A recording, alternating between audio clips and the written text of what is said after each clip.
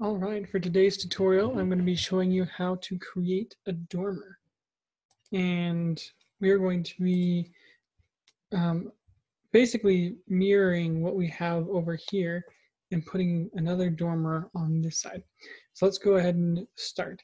So for this one, our roof is on level three. So I'm going to go over there so we can be able to re, so we can be able to do these, the roof the same way.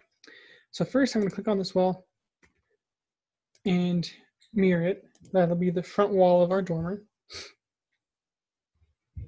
And you can see it shows up here. It's got the window in it as well.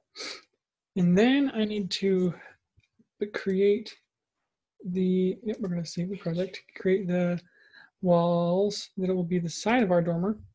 And later we'll change um, how long they are based exactly on how long the dormer will be. But for now, that will do. And then we're going to make sure that these are going to show up above our roof. Let's see, they've got top constraint unconnected. It's going to show up 20 feet above. So that's perfect. So now we can see those walls sticking up right here. And before I do anything, it looks a little bit sloppy here. There's not a line separating the wall from the roof. So we're just going to go over to the Modify tab and click Join. Click the wall, the roof, click the wall, click the roof, click the wall.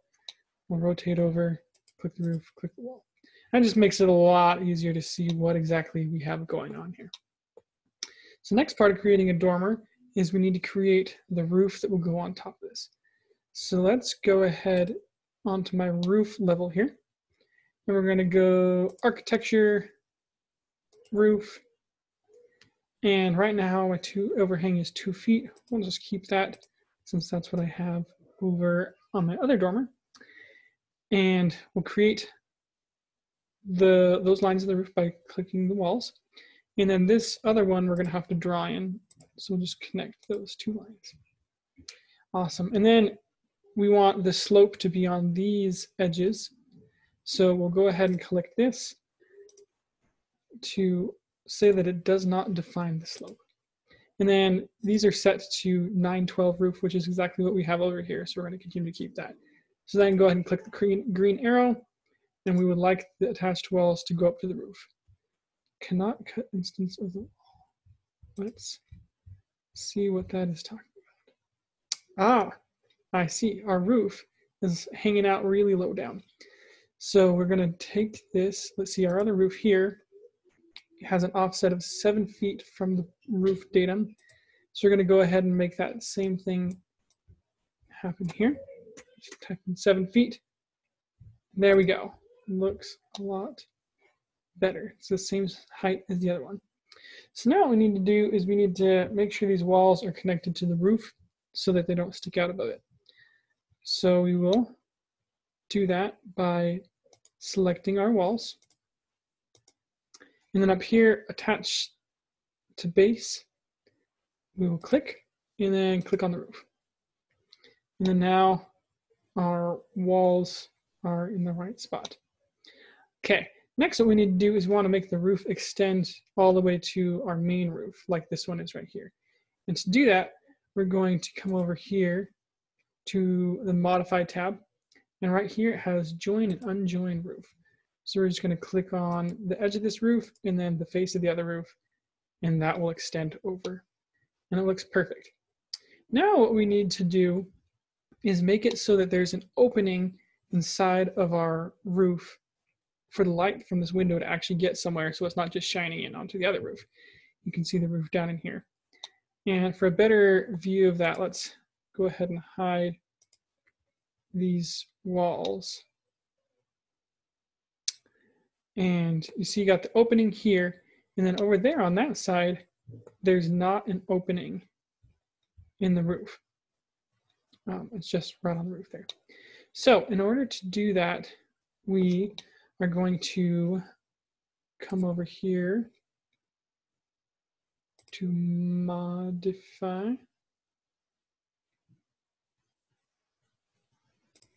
Actually, we're going to come over here to the structure tab go ahead and click on structure. And then we're going to click on the dormer button here.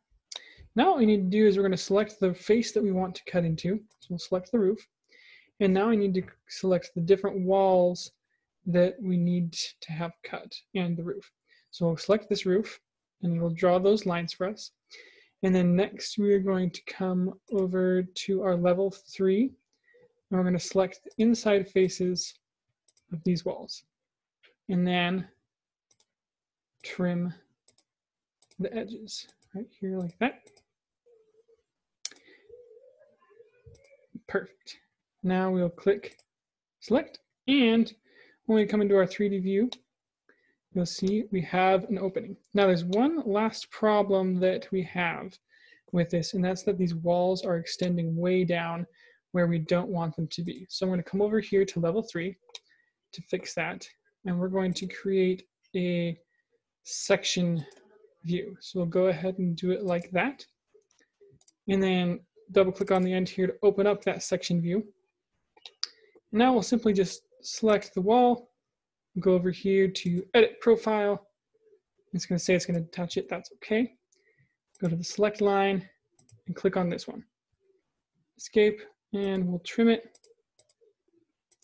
And then make sure that you get rid of this small piece of the wall down here because it will throw it off.